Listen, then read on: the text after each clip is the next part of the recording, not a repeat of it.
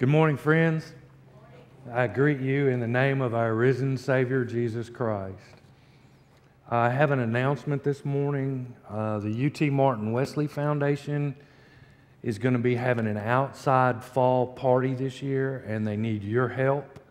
Uh, they're looking for people to make baked goods as prizes for the cakewalk, as well as baked goods just to give out to the students. Uh, so if, if you would like to make some baked goods for the UT Martin Wesley Foundation, uh, go ahead and make them. And this Saturday, Miss Beth is going to pick them up from the kitchen at noon, and she will take them up there to, to the Wesley Foundation at Martin.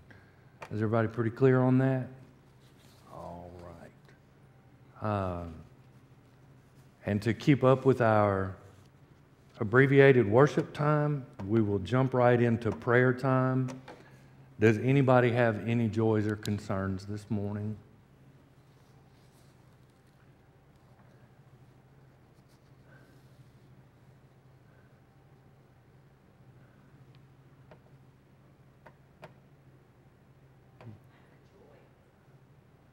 What is your joy, Mrs. Jordan?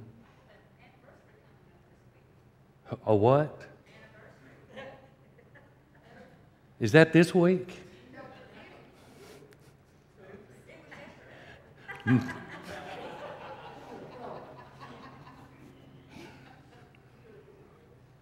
Was it yesterday? Is that this week? One day this week? Yeah, October the 28th of 2008. She said yes. And she's been saying, oh no, ever since.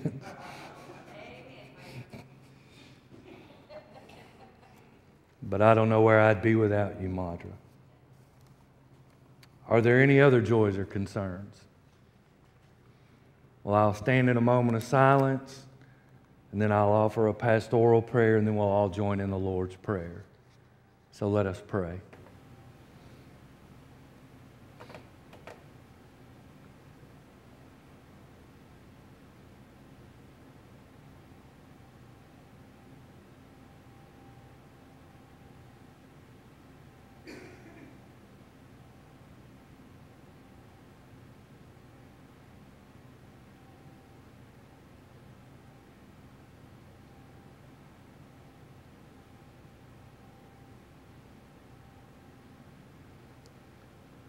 Holy God, thank you for the gift of another day.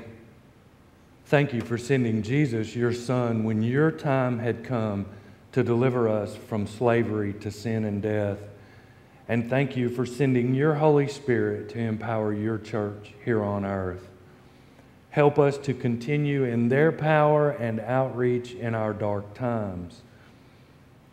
Send another breath of your Spirit to give us the motivation and the courage to step out in faith knowing that where we go, you are already there working. Remind us that we cannot go anywhere to escape your protection nor your grace. You have heard and you know all of our joys and our concerns, and we ask that your perfect will be done in and for each person on our prayer list and the people that are on our minds this morning Open our hearts and minds today to your word and your will. So when we leave this place, we will know and understand that we have not come to church today, but that we are the church. Let us walk closer to you, even in our darkest hours, and let us feel your presence and peace as we go through our days. Work on us and through us to show your love and mercy in this world so more people outside these walls might know that you alone are God.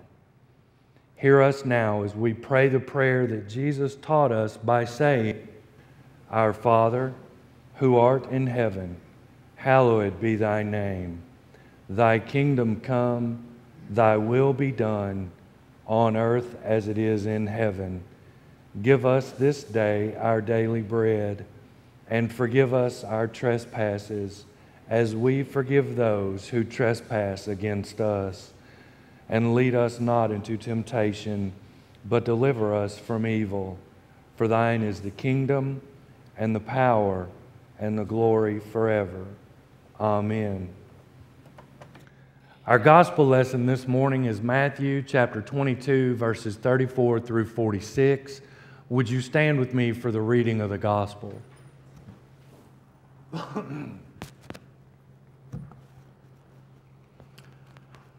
But when the Pharisees heard that Jesus had silenced the Sadducees, they gathered themselves together. One of them was a lawyer, asked Jesus a question, testing him Teacher, which is the great commandment in the law? And he said to him, You shall love the Lord your God with all your heart, and with all your soul, and with all your mind. This is the great and foremost commandment. The second is like it you shall love your neighbor as yourself. On these two commandments depend the whole law and the prophets.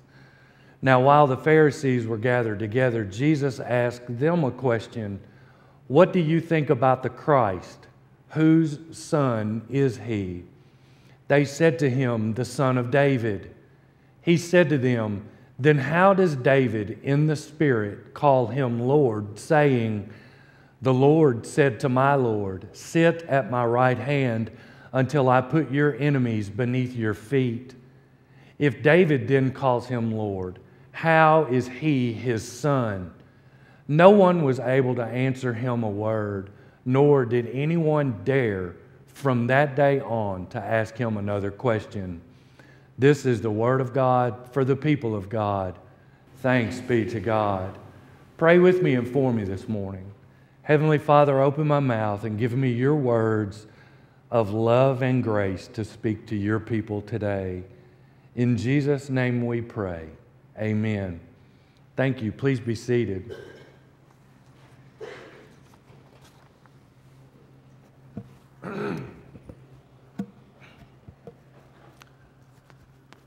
Uh, friends, the first thing to get out on the table for us today is this is again not a parable.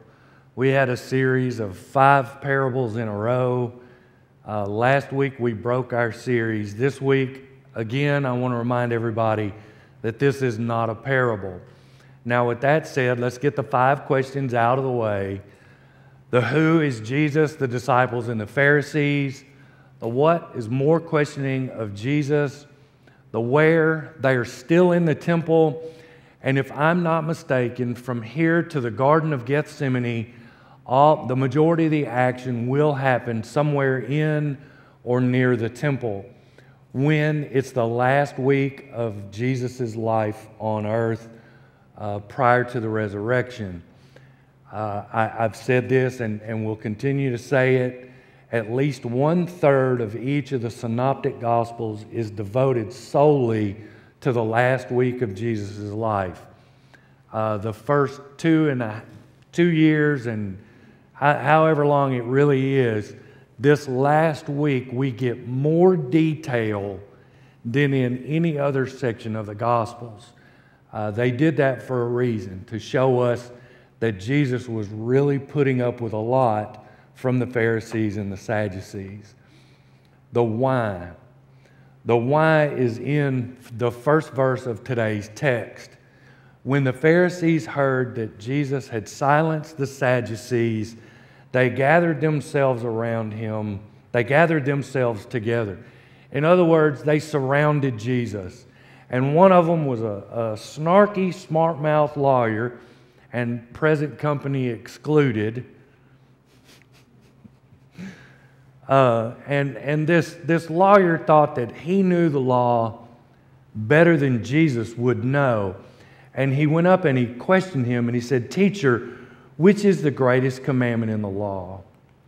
So there are 613 laws in the complete law of God. We Christians tend to narrow that down to 10 just to keep it easy. But in addition to the 10 that we have, there are 603 more. And surely Jesus won't get this question right because Jesus didn't have a rabbi. Jesus was raised way out. And forgive me if any of y'all are from this place. But Jesus is from way out in Bucksnort, Tennessee. Do y'all know where that is? Is anybody actually from there? Thanks be to God. So Jesus is from way out in this little town. It's barely a wide spot in the road. The only stop sign in town says, Whoa. Jesus won't get this question right for sure because he can't know the law. There's no way. But Jesus says, You shall love the Lord your God with all your heart and with all your soul and with all your mind. Whenever I read this, I'm always reminded of Susanna Wesley's answer to John Wesley uh, when he was 17, he went off to college and he would write her letters back, back, back at home. And in one of his letters, he asked her, What is a good working definition of sin? And, and she sent him back a letter and she said, If anything takes your passion and your love away from God, that thing to you, no matter how good it is, is sin to you. That's a pretty good working definition of sin, right? And that always goes back to this commandment right here that if I am loving God with my whole heart, my whole soul, and my whole mind, then nothing can come between me and God.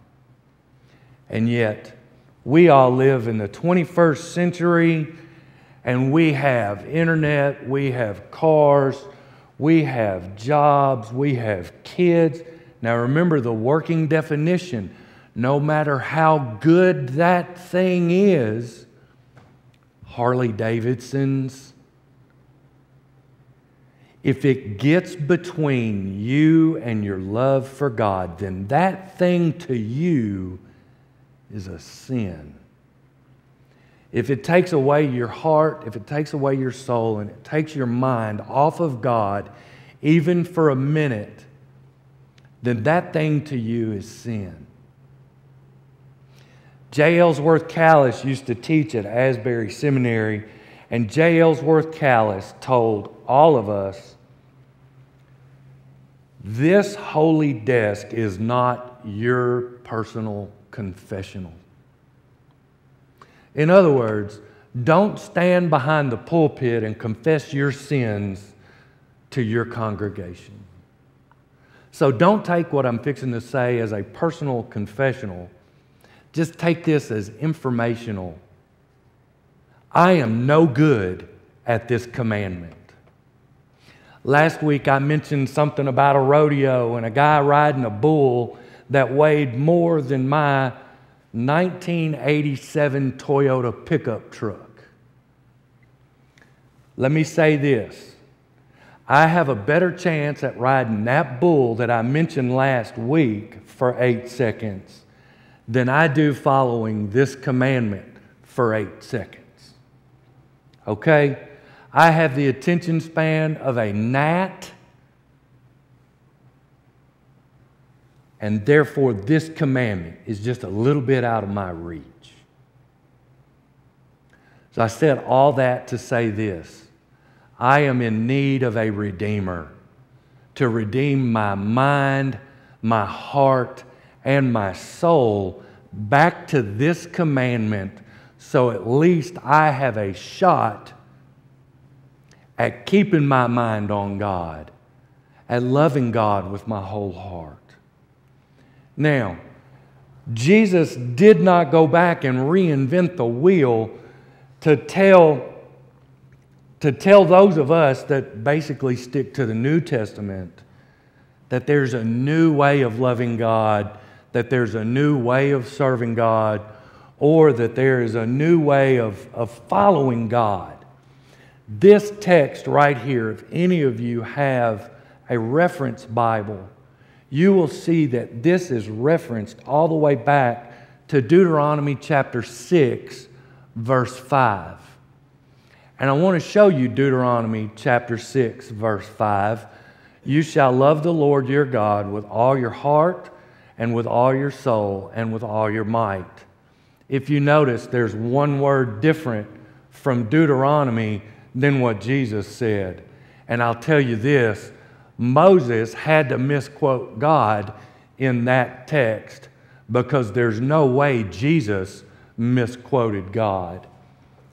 Notice the last word is might, and Jesus said mind. But I would even argue if you're loving God with your heart, your soul, and your mind, your might's going to come with it. Does that make sense? So Jesus continued with his answer and he said, The second is like it you shall love your neighbor as you love yourself. This one is easy to follow as long as Linda Tilley is your next door neighbor. Y'all know she's the lady that used to live next door to the parsonage, right? She has since moved out.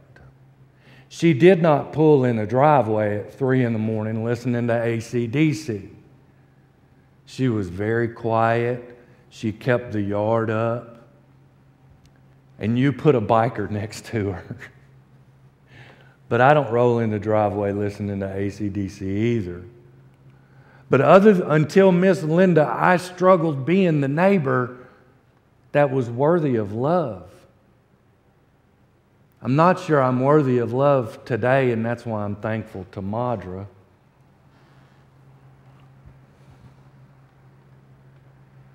But even if I did pull in the driveway, I don't think Miss Linda Tilley would have come out yelling and screaming at me. Do you? Now, I might have gotten a phone call later on the next day, but I don't think she would have come out yelling at me. This one is also an echo from the Old Testament. I, and I want you to hear this one in its entirety. This comes from Leviticus chapter 19, verse 18, and it says this you shall not take vengeance nor bear any grudge against the sons of your people, but you shall love your neighbor as yourself. I am the Lord. This is right out of God's mouth that we should love our neighbors as we love ourselves. Am I the only one in the room today that's not any good at this? Don't answer that. Now, I want us to back up just a little bit and look at Leviticus 19 17 and then 18. You shall not hate your fellow countrymen in your heart. You may surely reprove your neighbor, but you shall not incur sin because of him. So, in other words, don't pull a Brad and run out there, hey, you idiot, turn the radio down. We shouldn't be calling our brothers and sisters idiots. You shall not take vengeance nor bear any grudge against the sons of your people, but you shall love your neighbor as you love yourself. In other words, if they are doing something that you think you might find yourself doing later on, let it go. Or if they're doing something that you've already done in the past, let it go. Love your neighbor as you love yourself. And, and let me say again, I am not very good at this commandment. On these two, Jesus goes on and he says, On these two commandments depend the whole law and the prophets.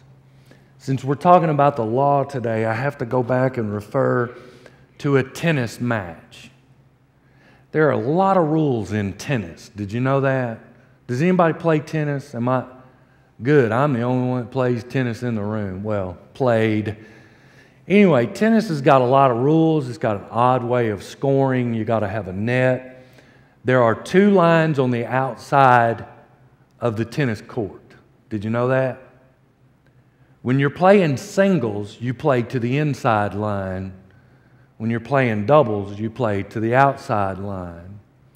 Those big squares that are up by the net, if you're serving, you stand to the right and serve diagonally to the other square. Do you know why? Because that, that Federer guy can serve at 115 miles an hour. And if I'm standing over here and he serves that ball over there, what are the chances I can get to it if it's going 105 miles an hour? So I have some general idea of where that ball is going to land when he serves at 105 miles an hour. So I can be over here and I can be halfway ready. Right? Now, what do the rules of tennis and the 613 commandments of God have to do with anything? We're all supposed to be playing the same game. And if I'm over here with my racket and Federer serves the ball and I hit the ball over here, how mad do you think he's going to be at me? Well, he's not going to be too mad because he just got a point and it's still his serve. So we change sides and he hits the ball at 105 again and I hit the ball out of bounds again. He's going to get sick and tired of that, right? God gave us 613 commandments to let us all know that we're on level ground. We're all supposed to be playing the same game. We're all supposed to be playing to the same boundaries. We're all supposed to be serving in the little square that's just the other side of the net. But these guys snarkily come up to Jesus and want to know which one's the most important. These two are the most important. It's like a net in tennis. Without a net, there's no sense in playing. Without a right side boundary, you can get away without that. Without a left side boundary, you can get away with that. But without the net, there's no sense in playing. So Jesus, on, the, on these two commandments, are the whole law. Now, if the Pharisees had just a little bit of love, they might not have been being so mean to Jesus. If the Pharisees had had just a little bit of love, they might not have been so willing to walk through town and say, Hey, you're violating this law. You broke that law. You broke this law. Nobody appointed, God, did, God never appointed them to be the referees at the tennis match. They just took it upon themselves.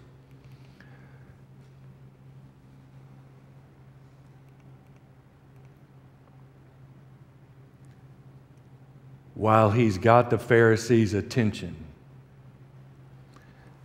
Jesus goes into a little rant about himself in the third person. What do you think about the Christ? Whose son is he? So Jesus is Jesus has got his racket ready. The Pharisees have served. And Jesus just returned. And now Jesus is asking them a question to get a gauge on their understanding. I don't think they understood Jesus nearly as much as they think they did, nor do I believe they understood God as much because their answer is, He's the son of David. Jesus goes on and says, How is it then that David in the Spirit, that in the Spirit is a very, that should call our attention to the comment that's coming next. Because David was inspired when he wrote the Psalms. Uh, again, if you have a reference Bible, this will reference you back to Psalm 110, verse 1. We're going to read through the whole psalm in just a minute. But that, that comment in the Spirit is very important because David was under inspiration of the Holy Spirit when he wrote Psalm 110. And David said, The Lord said to my Lord, Sit at my right hand until I put your enemies beneath your feet. Now, the problem that 21st century Americans have is we don't understand that when Jesus quoted the first verse of a psalm to the Pharisees, the Pharisees would have thought the whole psalm. They wouldn't have stopped. I know we live in a 10 second soundbite world, and we think that in this first verse of Psalm 110, we've gotten the whole thing, but we haven't.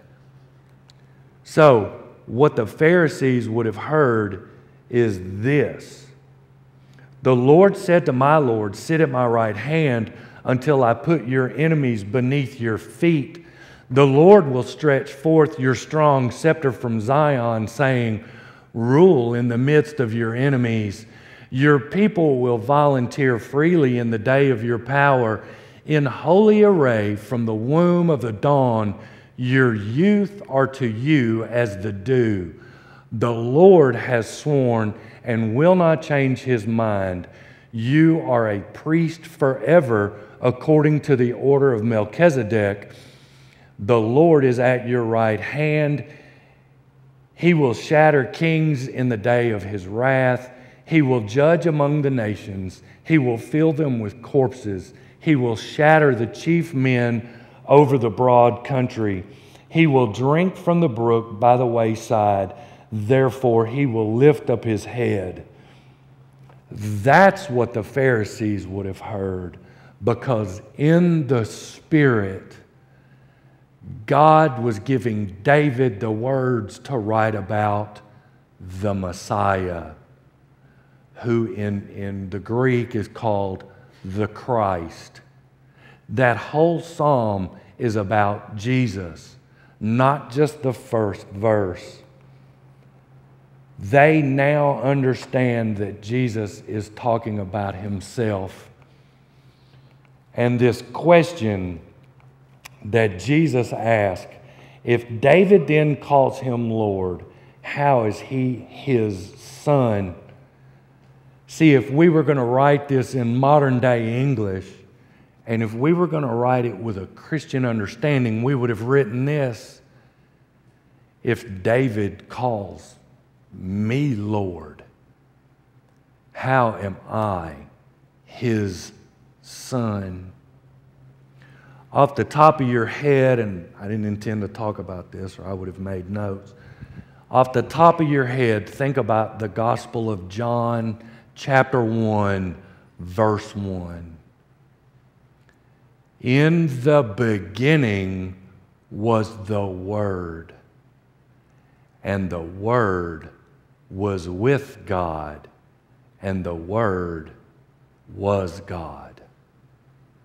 That is our understanding of the Messiah, what we tend to call Christ, the person of Jesus.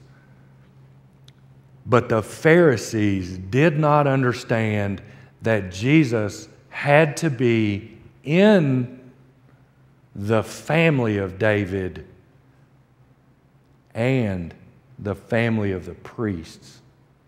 We're going to talk about that in a couple of weeks. Y'all know what season's coming up right after Thanksgiving? Christmas. Christmas. So, at this point, for the Pharisees, the pride is getting the better of them. And if, if we go back to that first verse, the Pharisees heard that Jesus had stifled or quietened the Sadducees.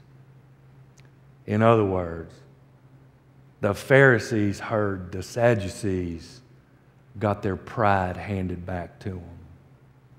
And now Jesus is handing the Pharisees their pride as well. Because as we see, Matthew writes that no one